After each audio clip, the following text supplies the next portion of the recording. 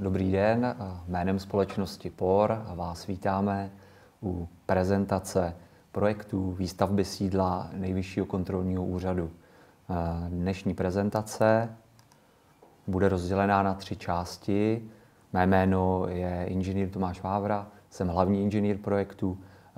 Ujmu se povídání v první části obecného o výstavbě jako takové areálu a okolnostech stavby. Druhou část, kde budeme probírat použití BIMu v projektu, bude přednášet BIM koordinátor inženýr architekt Tomáš Zavřel. Třetí část, kde se dotkneme použití BIMu v praxi, zejména profesích TZB, bude přednášet inženýr Pavel Mrázek. Tak, na úvod několik slov tedy o projektu, představení projektu jako takového. První přednáška, kterou tedy tady povedu, bude dělená do čtyřech tematických okruhů. Úvodem zmíníme okolnosti získání zakázky, způsobu, jakým v podstatě projektujeme, jakým předáváme věci mezi jednotlivými projektovými týmy. V další části se zmíníme obecně o areálu, konstrukčním řešení objektu, vypíchneme zajímavosti, jako jsou facility zařízení a vybavenost objektu a některé další služby, které v objektu se nacházejí. V obecném úvodě bych rád zmínil, že projekt je významný zejména ze třech základních důvodů. Hlavní je, že probíhá v režimu design and build. Poté se krátce zmíníme, co to znamená a obnáší. Je zpracován kompletně v prostředí BIM a řídí se smluvními standardy Yellow FIDIC, všeobecně uznávanými mezinárodními standardy. V části Design and Build bych rád zmínil, že jako každému projektu a každé výstavbě předchází projektová dokumentace. My jsme k projektové dokumentaci přišli ve fázi projektu pro provedení stavby. Předchozí stupně projektové dokumentace zpracovávala, zpracovávaly jiné kanceláře, na jejichž práci my navazujeme. Zajišťujeme pro investora i projekty jiných stupňů, například změny stavby před dokončením a zejména pak projektu skutečného provedení stavby, opět kompletně v BIMu, o čem se zmíní ve druhé části přednášky BIM koordinátor inženýr Zavřel. Další zvláštností projektu, neméně významnou, kromě design and build, je i smluvní režim, v kterém, v kterém projektování a následná výstavba probíhá. Jedná se o mezinárodní standard Yellow FIDIC. V rámci přípravy stavby jsme také a v rámci přípravy zakázky zakázku připravovali tak, že prošla i určitými analýzami. Prošla analýzami životního cyklu výstavby, v tomto případě LCC analýzou, která byla také součástí nabídky. Další specifikum a obvyklá věc, která ve výstavbě je, jsou samozřejmě požadavky investora. V rámci hierarchie zadávacích dokumentů je jeden z těch nejvýznamnějších, který tady zdůrazňujeme, takzvaná Bílá kniha standardů, z které se v podstatě v projektové činnosti a potom dále ve výstavbě vychází. V rámci žlutého FIDICu však jsou možné i určité úpravy a relevance, o kterých se můžou zmínit dále kolegové v dalších přednáškách. V rámci společnosti POR funguje samozřejmě určitá firemní hierarchie, kde vedení v podstatě projektu jako takového má vždy na starosti některá z divizí, která stavbu sama provádí, kterou samozřejmě zastupují její vedoucí a ředitelé, manažer projektu, který je ke každému projektu přidělen a hlavní a další dílčí stavbevedoucí, kde většinu profesí si stran vedení a engineeringu zajišťuje společnost POR sama. A nedílnou součástí celého tohohle velkého týmu, který se na výstavbě podílí, je náš tým projektový. Aby to bylo správně pochopeno, na takovém samozřejmě projektu eh, velkého a významného rozsahu se podílí obrovský, obrovský tým projektantů. Tým projektantů proto eh, musí být řízen, eh, musí být řízen strukturou hlavních inženýrů projektu, BIM koordinátorem, který je samozřejmě ve výstavbě, která probíhá v rámci Design and Build, v rámci, v rámci standardů BIM nezbytný, dalších zástupců a dalších dílčích vedoucích jednotlivých profesí. Takže tady eh, na slajdu, který předvádíme, vidíte eh, v podstatě ještě i neúplné torzo celého projektového týmu. Vidíte, že na takovém projektu se prodílí eh, velká spousta, velká spousta kooperantů. Tak, teď už k vlastnímu areálu, situaci výstavby, konstrukčnímu řešení a dalších, a dalších detailů, které by vás mohly zajímat. Tak, vlastní areál eh, se nalezá v Praze 7, Holešovicích, eh, nedaleko v podstatě řeky Vltavy, eh, na křižovatce ulice Komunardů a ulice Uranie v rámci určitého takového brownfieldu, areálu bývalého Holešovického pivovaru. Je v dnešní době navrhována areálová zástavba, která mimo jiné obsahuje i budovu budoucího nejvyššího kontrolního úřadu. Eh, to si ukážeme dál, proto eh, jsou jednotlivé věže kontrolního úřadu pomenovány písmenými znaky, které eh, se na první pohled mohou zdát vytržené z kontextu, ale protože je výstavba součástí většího areálu, tak záhy pochopíte, že označení jednotlivých objektů v podstatě navazují už na předchozí výstavbu v tomto brownfieldu. Vlastní objekt eh, má eh, jeden hlavní stavební objekt, který je však rozdělen do dvou věží s označením GAH. Eh, objekt je obklopen parterem, který se za chvíli předvedeme. Objekt má dvě podzemní podlaží, z toho jedno z nich je částečné Jednotlivé věže mají 6 a 7 eh, nadzemních podlaží. Počet uživatelů eh, budoucího objektu je v předchozích stupních projektové dokumentace odhadnutý na celých 800. Zajímavostí mohou být i hrubé podlažní plochy a obestavěný prostor, případně počet eh, stání, která jsou situována v obou podzemních podlažích objektu a jsou určena zejména nebo výhradně pro zaměstnance Nejvyššího kontrolního úřadu a kanceláří poslanecké sněmovny, které, kteří budou společným nájemníkem budoucnu této budovy. E, o vlastním dopravním řešení se pak zmíním na dalším slajdu trochu podrobněji. Tak. A tady už vidíte představení objektu jako takového. Objekt se tedy skládá ze dvou hlavních věží. Věže nazvanou budovou G, eh, která má pět plných nadzemních podlaží a dvě podlaží uskočená eh, na úrovni pátého nadzemního podlaží je v podstatě vytvořená určitá klidová zóna s terasou, s přístupem z kanceláří objektu.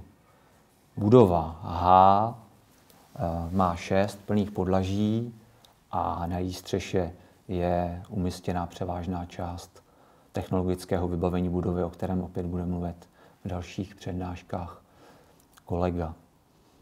Hm. Objektu náleží parter, který v podstatě propojuje objekt s nejbližším okolím stavby a parter je dělený na vnější část eh, s herními prvky a další vybaveností, o které se posléze taky zmíníme. A část vnitřní, která je vjezdem z ulice Komunardů, který v budoucnu bude sloužit výhradně zaměstnancům mm, objektu NKU a, a kanceláří poslanecké sněmovny eh, napojený na řešení vnitřního parteru. Objekty jsme si pak v rámci výstavby rozdělili ještě na další stavební podobjekty a nedílnou součástí výstavby jsou i přípojky inženýrských sítí a vlastní areálové řešení jednotlivých vnitřních areálových sítí. Tak každá z budov má svoji vlastní kanalizační přípojku, vodovodní přípojka jednotná. Uvnitř areálu je hospodaření s dešťovou vodou eh, v rámci zadání řešeno eh, vsakováním s retencí s kontrolovaným přepouštěním do společné přípojky. Přípojka eh, elektrické energie je pro celý objekt samozřejmě jednotná přes místnosti energocentra. V rámci vnitrobloku je dále hospodaření s dešťovou vodou eh, řešeno i přes přečištění a odlučovač ropných látek v souladu s platnou legislativou. Tak, eh, zajímavostí objektů a určitým architektonickým ozvláštněním je i spojovací podobjekt, který jsme si v rámci hierarchie dokumentace označili dílčím označením SO 013. Je to spojovací několika úrovňová lávka s vrchní terasou, která je poměrně netypicky tvořena e, příhradovým lepeným dřevěnými vazníky a doplněná zajímavou e, klidovou zónou e, se zelenou terasou, která je přístupná z vrchních, z vrchních pater kancelářských budov a obě budovy, nebo obě budovy i provozně propojuje. Tak. K dopravnímu řešení ve vnitro areálu eh, se dostávám nyní podrobněji. Areál samozřejmě umožňuje i kromě příjezdu vlastních zaměstnanců, který už jsem zmínil, který se nalezá na přístupovém bodě z ulice Komunardů, i přístup návštěvníků a veřejnosti. Návštěvníci a veřejnosti však přijíždí zejména z ulice U Uranie a parkují eh, na stáních, která jsou k tomu vyhrazená ve vnitrobloku. Tady už jsou některé detaily vlastního dopravního řešení. Tak. Uvnitř budovy je situováno eh, více provozů. Tím je budova významná a liší se samozřejmě také od některých běžných jiných administrativních budov, že v sobě kombinuje nejen už zmíněné dva nájemce, to je eh, kanceláře poslanecké sněmovny a nejvyšší kontrolní úřad, ale obsahuje jednotlivé provozy. Přes hlavní vstup, který je situován v objektu H, se veřejnost dostává do vstupního foaje, kde je eh, bezpečnostní službou v podstatě eh, směrována do vyhrazených eh, částí, částí objektu. V budově kromě dvou konferenčních sálů nalézají se i dvě dětské skupiny, které mohou fungovat eh, odděleně, ale i nezávisle na sobě. Velín bezpečnostní služby a ve vyšších patrech potom i velké úložné prostory a depozitáře, které budou sloužit eh, zejména kanceláří poslanecké sněmovny eh, pro uchovávání archiválí, ale částečně i jako depozitáře budov Nejvyššího kontrolního úřadu. Vlastní uh, suterénní podlaží, jak jsem už zmínil, mají vyhrazená stání pro budoucí zaměstnance těchto provozů. Jsou propojená z vnitro bloku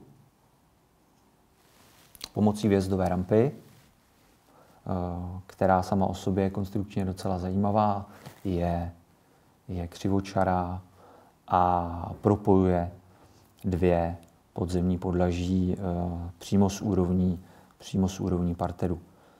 Jak jsem už zmínil, obě podzemní podlaží eh, nejsou plnopůdorysná, nižší z podzemních podlaží zabírá pouze část půdorysu pod objektem eh, G a část spojovacího krčku.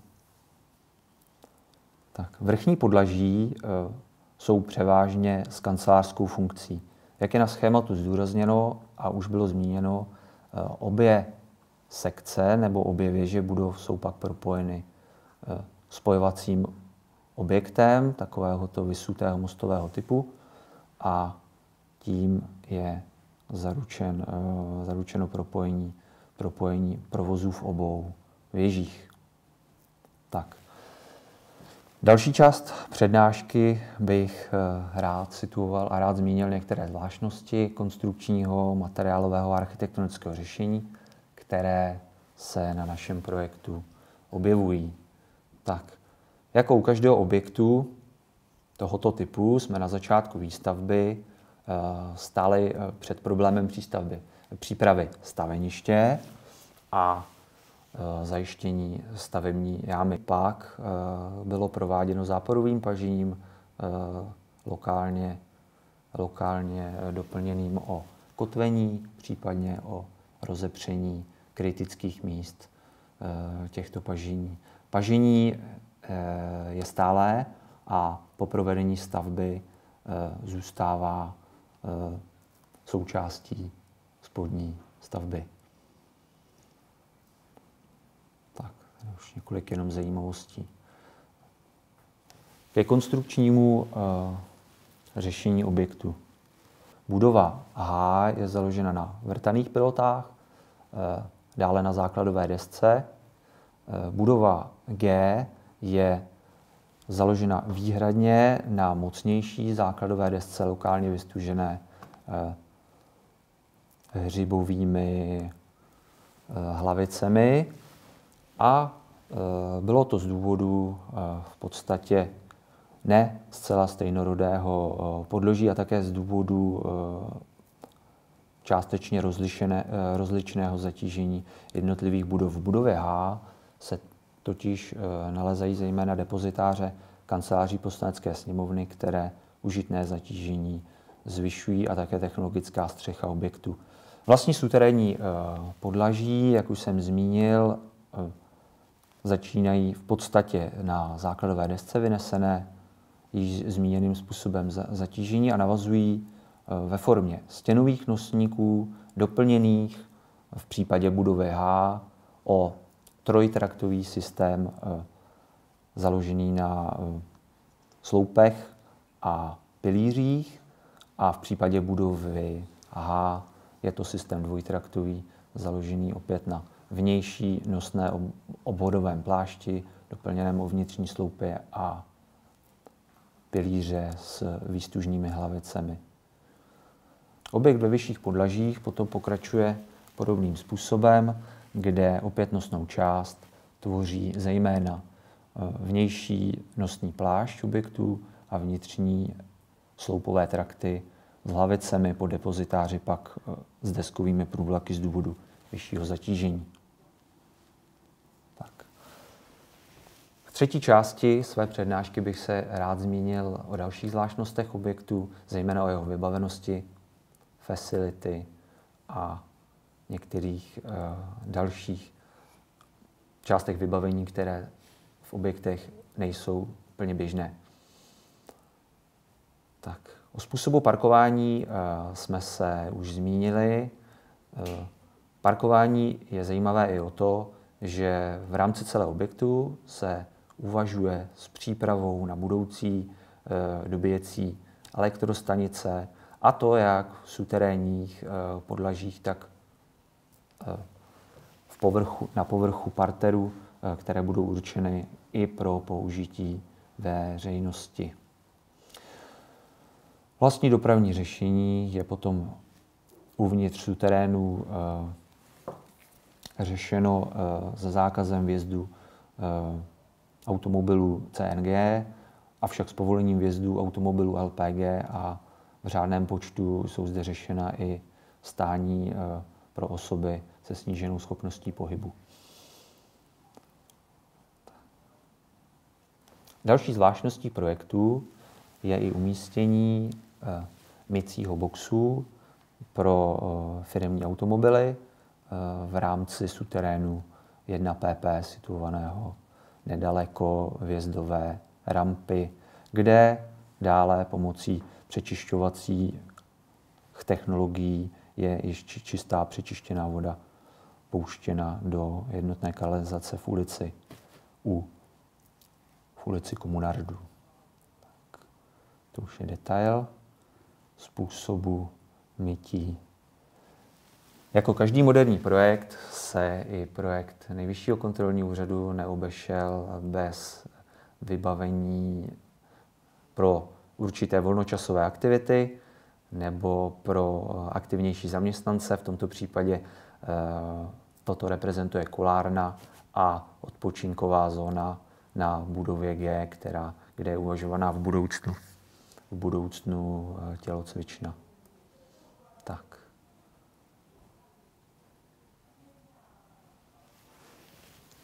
Velmi důležitým prostorem jsou konferenční sály. Konferenční sály v objektu, eh, že jsou multifunkční, eh, dovolují v podstatě, jak na obrázku je patrno, eh, rozdělení pomocí mobilních příček na konferenční sály 2, anebo v případě stažení mobilní příčky na jeden větší konferenční sál s kompletním vybavením technologiemi AVT.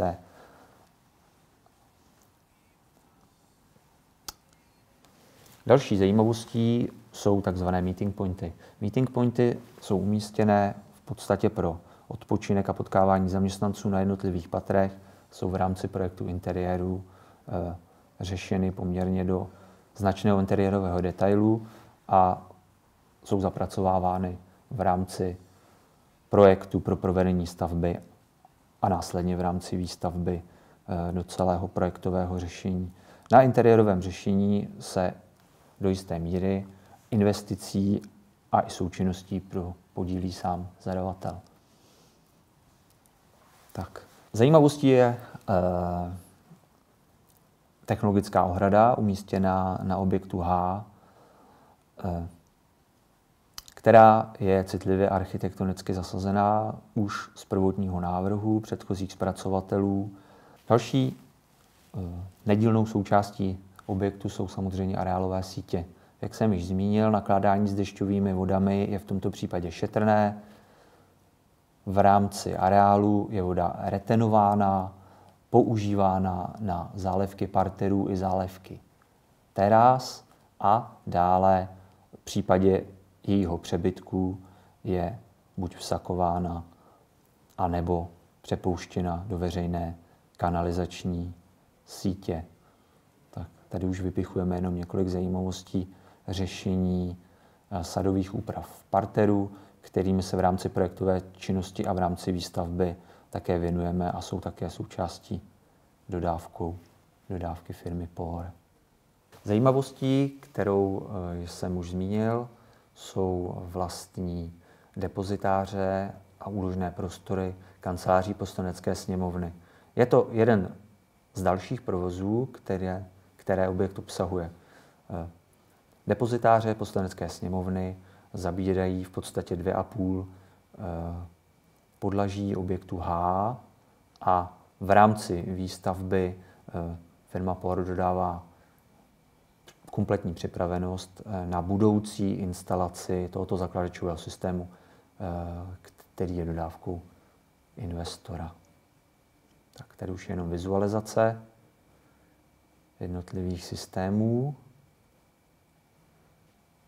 A tímto bych eh, vám jménem svým i jménem společnosti POR poděkoval za pozornost při základním představení projektu a předávám, koleg, předávám slovo dalším kolegům, eh, které vás seznámí s neméně zajímavými částmi projektové činnosti. Děkuji za pozornost. Naschledanou.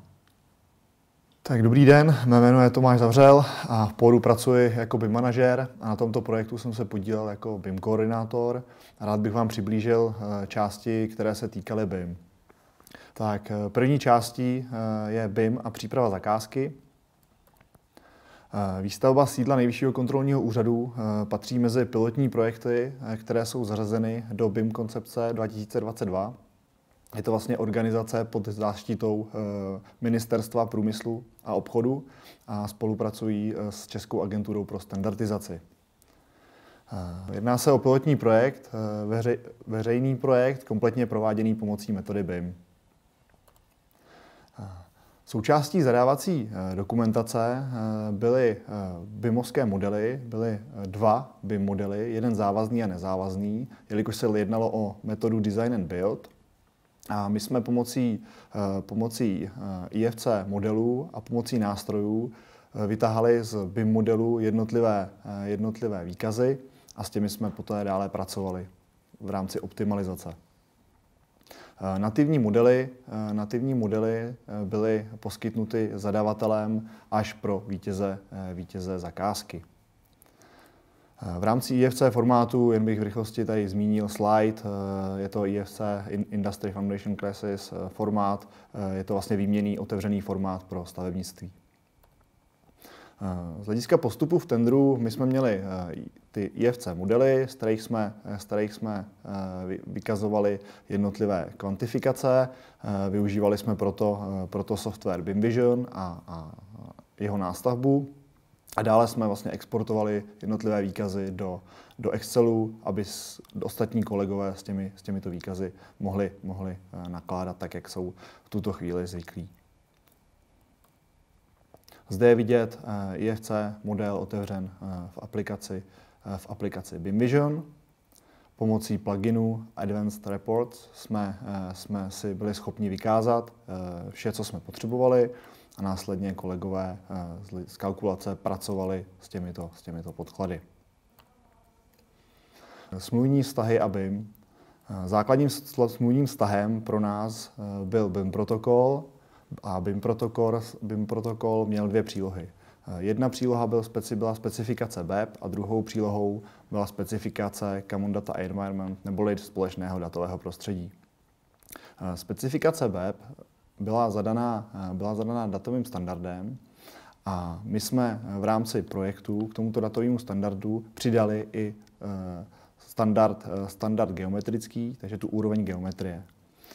V rámci eh, zakázky eh, bylo, bylo je definováno, že v případě, že bude vydán klasifikační systém agenturou čas, tak do projektu tento klasifikační systém bude muset být zahrnut. Ohledně společného datového prostředí je vidět, že máme, eh, máme tady vypsané dvě společné datové prostředí. Eh, společné datové prostředí Alex, které bylo, eh, bylo vlastně eh, v zadávací dokumentaci popsáno tak, že bude muset být využíváno v rámci zakázky a poté BIM 360, což je, což je, což je společné datové prostředí od společnosti Autodesk a to my vlastně firemně využíváme a v rámci této zakázky jsme nabídli i investorovi zapracování a pracování právě v tomto společném datovém prostředí. Když se dostanu do té části eh, specifikace BEP, tak tady je vidět eh, datový standard tak, jak byl, jak byl zadán. Jedná se o, o informace eh, k modelu, jednotlivé kategorie a prvky, jaké mají mít informace, v jakém mají být formátu zadané ty informace. A také zde byla definována část LOD, neboli Level of Development. Problém jsme viděli v tom, že eh, LOD v české legislativě v tuto chvíli není, není úplně zakořeněn. Eh, každý si může představovat pod eh, pojmem LOD a jeho klasifikační částí představovat něco jiného. Tady jenom přeskočím vidět například, jak si můžeme představit rozdíl mezi jednotlivými LOD 100 až 500. Tady, jsou vidět, tady je vidět například celá stavba, zde třeba vidět, eh, vidět eh, zdivo.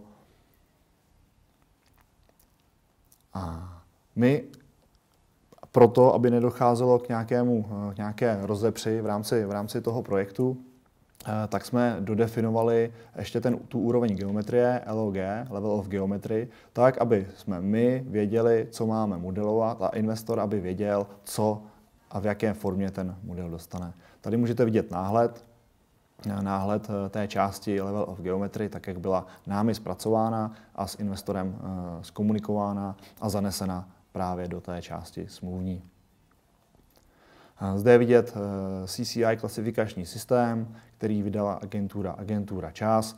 Nebudu se více, více zaobírat tímto klasifikačním systémem. Koho by to zajímalo, může si otevřít, otevřít koncepci BIM a zde se podívat na klasifikační systém CCI. Z části CDE, společného datového prostředí, zde jenom chci ukázat, proč jsme vůbec používali dvě datové prostředí. To první datové prostředí, které bylo dané smluvním standardem, tak byl, byl Alex, můžete vidět, můžete vidět na levé straně. Toto společné datové prostředí pro nás eh, víceméně slouží a sloužilo a slouží eh, jako eh, složková struktura pro odezdávání smluvních dokumentů investorovi. Ale krom toho jsme zavedli BIM 360. BIM 360 jsme zavedli proto, jelikož standardně každý projekt, který my zpracováváme a zpracováváme v BIMu, tak 360 proto, proto využíváme. A investorovi jsme eh, nabídli, že investor může být zapojen do toho společného datového prostředí, aby viděl veškerou dokumentaci, eh, veškeré modely, všechno, všechno co se týká projektu, aby viděl už dřív, než se to oficiálně odezdá eh, na, na, na, do toho společného datového prostředí Alexe. Primárně proč jsme využili tu 360 je, že například v tom Alexi si můžete zobrazit, eh, zobrazit PDF, vidíte verzování dokumentů, což je všechno fajn, ale v, tři, v BIM 360 kromě tohoto eh, vy si můžete zobrazit. Eh, zobrazit 3D model, můžete si zobrazit jednotlivé výkresy, výkresy, které jsou přímo generované z toho modelu. Takže můžete si zobrazit jednotlivé jednotlivé varianty, můžete si zobrazit, eh, zobrazit rozdíly mezi jednotlivými verzemi. Takže tohle jsme přednesli investorovi a vlastně BIM 360 pro nás, pro všechny byla ta, to stěžení místo, kde se odehrává, odehrávala celá projekce. Tak, BIM a projekce. Eh, zde bych jenom ukázal nějakou prvotní vizualizaci, která byla. Vpravo dole si můžete všimnout, můžete všimnout live streamu, Eh, je vlastně eh, na internetu, dole je adresa, takže koho by to zajímalo, chtěl by se podívat, jak stavba probíhá, jak pokročila, tak dole, dole je adresa. Zde je jenom pár fotek, eh, pár fotek k, k dané stavbě. Ohledně, ohledně projekce. Projekce jako taková byla založena v roce 2000, 2019 a myslíme si, že vůbec to, kam se to od toho roku 2019 posunulo eh, k dnešnímu, k dnešnímu datu, tak je obrovský skok. Vpravo si můžete všimnout, eh, všimnout grafu, kdy, kdy eh, berete to jako můj osobní názor. POR se pohyboval někde v průměru z hlediska BIMu a digitalizace ve stavebnictví. Ale během těch dvou let ten progres nastal obrovský. Myslím si, že v tuto chvíli prostě dosahujeme, dosahujeme až nějakého vrcholu. Ehm, my se snažíme o objemu nejenom, nejenom eh, prezentovat, ale my se to snažíme realizovat. Ehm, máme obrovskou výhodu, eh, že eh, POR jako takový má nejenom, nejenom tu stavební část, ale tu, která vystavuje ty objekty, ale má i právě tu projekční, projekční, projekční část. A díky tomuto této provázanosti všech těch eh, subjektů, které se podíleli, podílejí, podílejí jak na tom projektu, tak na té výstavbě, tak jsme schopni eh, nastavit eh, nějaké pracovní postupy, a, a které vlastně fungují, fungují a ten progres, progres je velice znát. Ohledně projekce máme nejenom stavební projektanty, architekty, ale i projektanty profesí a, a TZB. Tady jenom eh, ukázka eh, softwarů, v kterých, eh, v kterých například pracujeme, tak primárně pro nás, pro nás je to Revit, případně AutoCAD, ale snažíme se využívat právě tu cloudovou platformu od Autodesku BIM 360, ať to je část BIM 360 Docs, Design nebo Coordinate. Dalšími softwary, například BIM Vision, Civil 3D a tak dále. Těch softwarů se může zdát, že není, není úplně moc. Eh, my se, snažíme, my se snažíme optimalizovat počet softwarů na co nejmenší počet, tak, aby ten proces byl co nejvíc kontinuální a co, co, eh, co nejvíc eh, nebo nejjednodušší pro nás, pro všechny. Zároveň s tímto projektem byly vytvářeny jak nové standardy a pracovní postupy, tak ty stávající byly zdokonalovány. Vůbec digitalizace ve stavebnictví eh, je prostě věc, která se vyvíjí strašným, strašně rychlým způsobem, jde to dopředu, takže na každém projektu se ta, vůbec ten, to know-how, ta, ta, ty, ty pracovní postupy posouvají dál a dál, takže, takže na tomhle projektu eh, si myslím, že jsme, že jsme odvedli spoustu, spoustu práce. Tady je vidět jenom celkový, eh, celkový model nejvyššího kontrolního úřadu. Celkový, celkový BIM, BIM model nejvyššího kontrolního úřadu se samozřejmě skládá z více podmodelů. Tady jenom pro představu, z jakých částí jednotlivých se, se ten celkový model, model skládá. Ukázka, ukázka modelů, modelů TZB. A tady potom jenom pro představu dílčí modely, například vzduchotechnika, dílčí model kanalizace. Tady je vidět dílčí, dílčí model závěsného systému pro technologii TZB.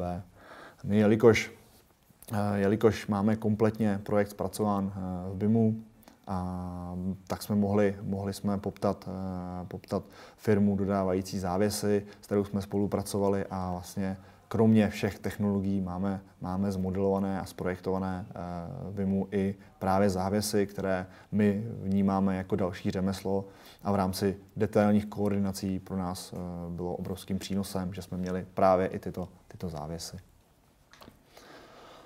Ohledně koordinace eh, projektu, jenom ve zkratce, koordinace probíhá, probíhá ve, dvou, ve dvou částech. Jedna hrubá, v hrubá koordinace ta probíhá celkem standardně. Eh, sejdou se kolegové, řeknou si, kdo kde, kudy eh, povede jednotlivé potrubí, jak budou vystrojeny šachty a tak dál. Ale poté, eh, poté nastává ta jemná koordinace, kdy řešíte ty jednotlivé kolize, jednotlivé drobné kolize v průběhu projektu. Těch kolizí může být stovky, tisíce a vy je musíte vyřešit. My pro tento, pro tento způsob koordinace jsme zase využívali BIM 360 Coordination, kde jsme eh, díky vůbec tomuhle softwaru a nastavenému workflow byli schopni eh, dokoordinovat, eh, dokoordinovat projekt a objekt během řádově třeba tří týdnů. Obrovskou, obrovskou, obrovskou výhodou, kterou já vnímám, bylo to, že jednotliví profesanti byli schopni koordinovat sami mezi sebou, což, což, což bylo až neuvěřitelné. Eh, zde, eh, zde vidět jenom mm, systém označování, barevného označování jednotlivých potrubí a vedení. Eh, to máme čistě standardizovaný, tak aby každý, kdo si otevře model, hned věděl a tušil, co je to za jaké vedení. Teď jenom ve zkratce k dokumentaci. Tady je vidět, že standardní dokumentace, kterou samozřejmě standardně zpracováme, veškerou dokumentaci, kterou vydáváme, tak je vlastně generována z toho, z toho BIMovského modelu. Ale kromě standardních výkresů, jako jsou půdorysy, řezy, detaily a tak dál, zde je vidět koordinační výkres, detail koordinačního výkresu, tady e, koordinační model BIM 360, kde jsou jasně vidět geometrie, kde jaké potrubí vede, kde jsou případné kolize a tak dále. Koordinace podhledů, Jo, tady je vidět vyloženě, eh, vyloženě eh, jednotlivé podhledy. Všechno zase se vracím, generováno přímo napřímo eh, z BIMovského modelu, tak aby veškeré informace byly stále, stále totožné. Výkresy zdění, tady detail výkresu zdění. Ale kromě dokumentací, který, který slouží, slouží třeba naší stavbě, tak uh, zpracováváme i spoustu, spoustu typy, atypických dokumentací, například vyloženě pro stavbu, která si vyžádá nějakou dokumentaci, uh, nebo pro subdodavatele. Zde třeba například vidět uh, výňatek z dokumentace pro subdodavatele, pro subdodavatele oken, tak aby ta koordinace v rámci vůbec třeba dodávky, dodávky oken, oken byla, byla jednodušší.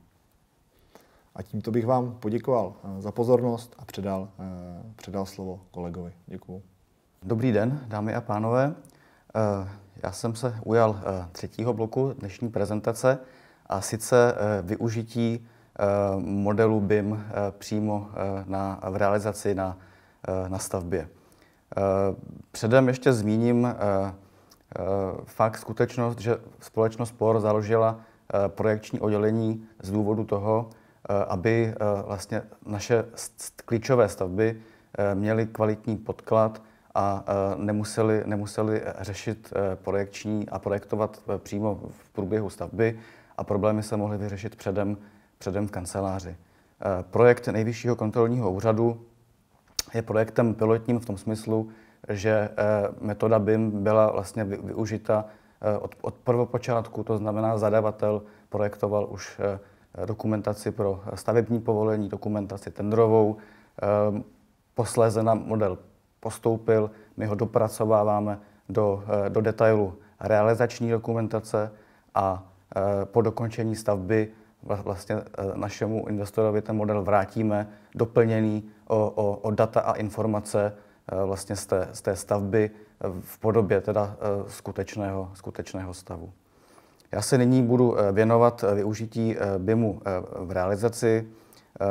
Prvním, prvním benefitem jsou optimalizace to, že eh, projektanti vlastně mají eh, možnost, eh, možnost porovnávat různé varianty výpočtové, máme vlastně možnost vykazování výměr, výměr z toho modelu, což je, což je obrovská výhoda při, při poptávání vlastně subdodavatelů.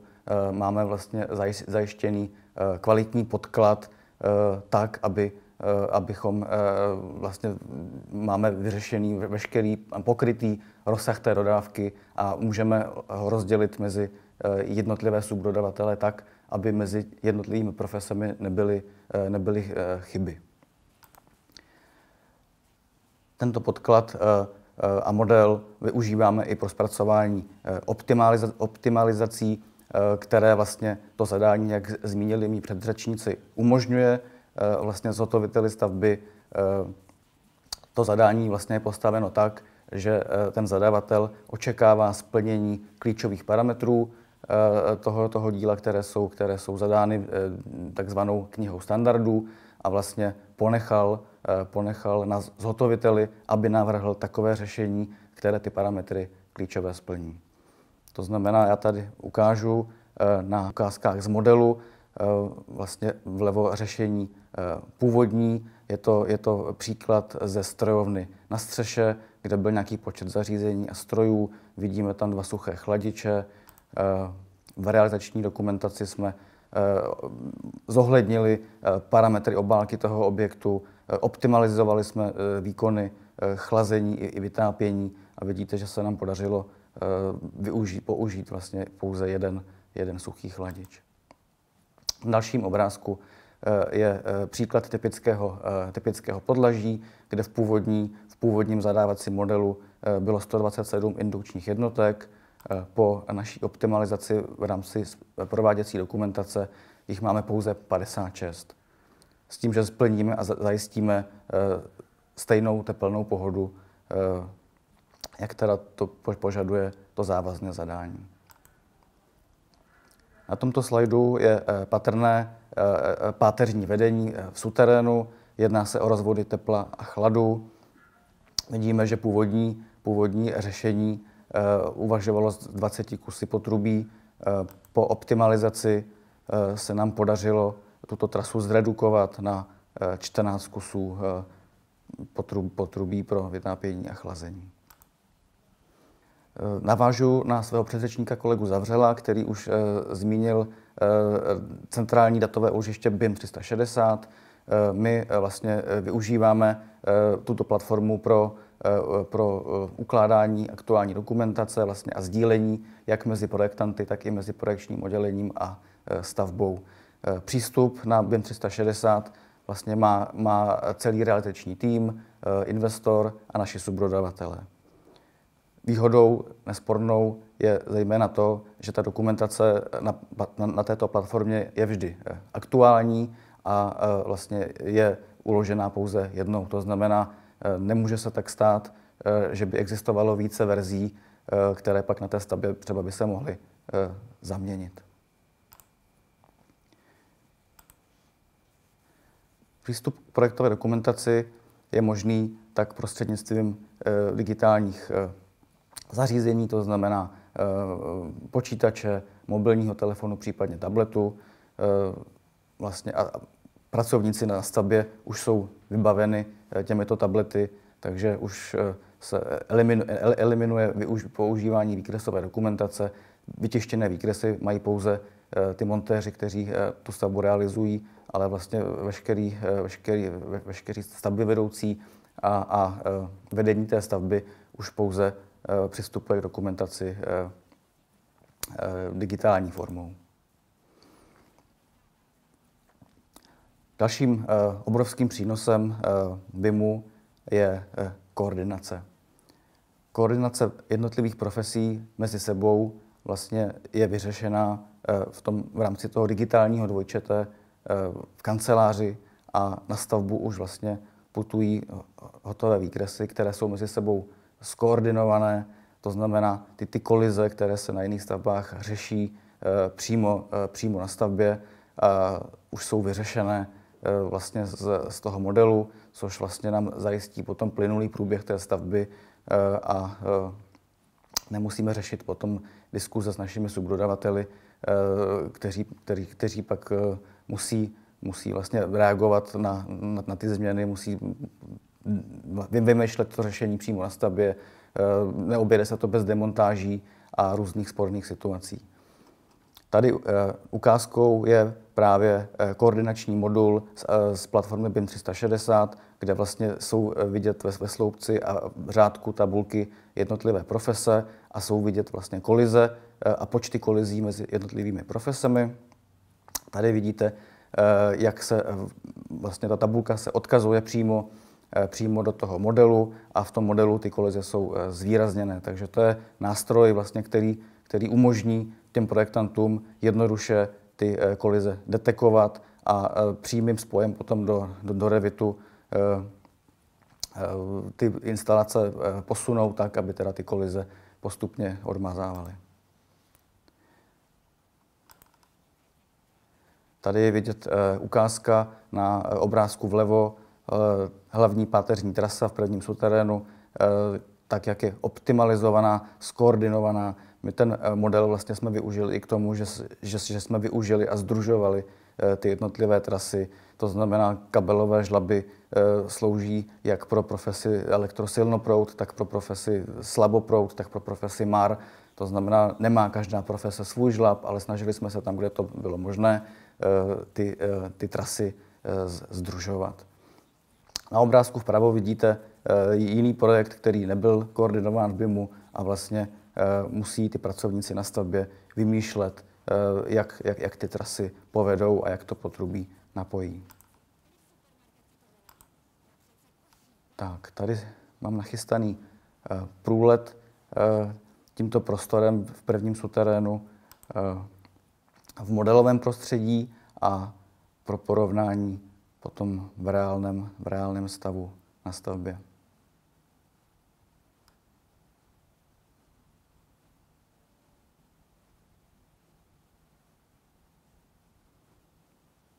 Jedná se vlastně o páteřní rozvod eh, tepla a chladu eh, směrem ke studovně tepelných čerpadel, vlastně, která využívají Eh, geotermální teplo.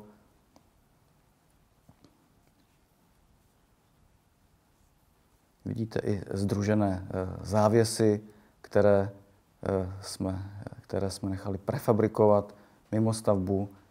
Zmíním se na dalším slajdu ještě o prefabrikaci.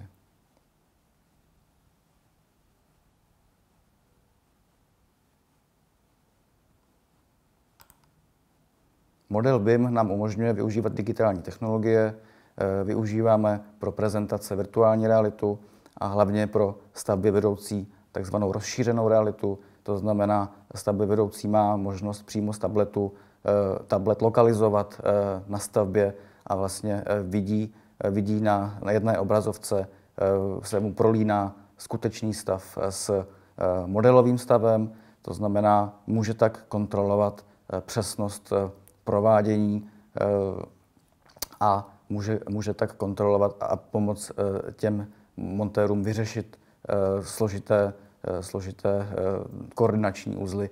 Dalším přínosem BIMu v realizaci je transparentnost. V denním režimu se setkáváme s tím, že probíhají na stavbě změnová řízení, to jak s, s investorem, tak se subdodavateli a probíhají nekonečné diskuze o tom, jaké množství se mění, čeho, čeho se změny, změny týkají a tak dále. Eh, to vlastně by nám pomáhá vyřešit tím, že eh, jednoznačně eh, dokáže, dokáže identifikovat ty, ty změny dokáže přesně, přesně vyexportovat výměry, to znamená tyto diskuze o tom, jestli, je, jestli změna, jak, jak, jak, jaké dopady ta změna má, odpadají. My jsme se snažili ten BIM opravdu využít eh, na stavbě na maximum. To znamená, šli, šli jsme do opravdu velké míry eh, detailu. Eh, věnovali jsme se, věnovali jsme se hodně koordinaci právě rozvodů, rozvodů TZB. Díky tomu, že vlastně se ta koordinace podařila, jsme mohli vlastně nechat namodelovat i model závěsného systému, což jsme vlastně potom využili k tomu, abychom mohli Eh, prvky toho systému eh, nechat prefabrikovat, to znamená, eh, nevytváří to nebo neskládají to a neřežou ty dělníci na stavbě, ale na stavbu už dorazí z dílny předvyrobený celý združený nosník, čímž teda jsme docílili zrychlení a efektivity a vlastně vidíme, že, že celá ta montáž těch systémů v porovnání s jinými stavbami probíhá výrazně, výrazně rychleji. Společnost POR eh, společně se společností Hilty eh, pořádali eh, BIM Days na stavbě, kde vlastně jsme odborné veřejnosti prezentovali možnosti právě prefabrikací a možnosti, možnosti využití robota který vrtá otvory pro, pro závěsné systémy. Tohoto robota vám ukážu na závěrečném videu. Chtěl jsem jenom na závěr přednášky vás pozvat na, na stavbu exkurze pro studenty. Pořádáme podle, podle dohody, to znamená, a můžeme si ukázat dílčí nebo celou stavbu, včetně včetně technických, eh, technických systémů a dalších věcí, které vás budou eh, zajímat. Tak to je z mé strany vše. Eh, já poděkuji za pozornost a pustím vám video, kde uvidíte letacího robota, který vlastně na základě souřadnic vyexportovaných z BIM modelu automaticky vrtá otvory pro závěsný systém technických instalací. Děkuji za pozornost a nashledanou.